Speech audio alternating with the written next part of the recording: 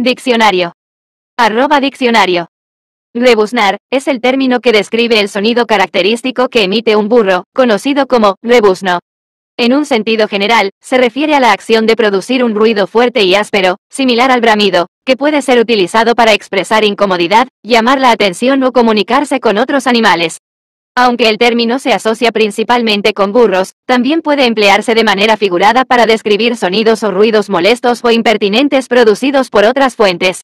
En contextos coloquiales, rebuznar puede usarse de manera metafórica para referirse a hablar de forma inoportuna o molesta.